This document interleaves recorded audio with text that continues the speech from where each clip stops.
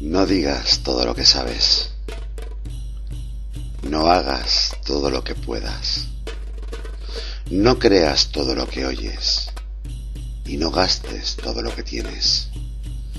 Porque el que dice todo lo que sabe, el que hace todo lo que puede, el que cree todo lo que oye y el que gasta todo lo que tiene, muchas veces Dice lo que no le conviene, hace lo que no debe, juzga lo que no ve y gasta lo que no puede.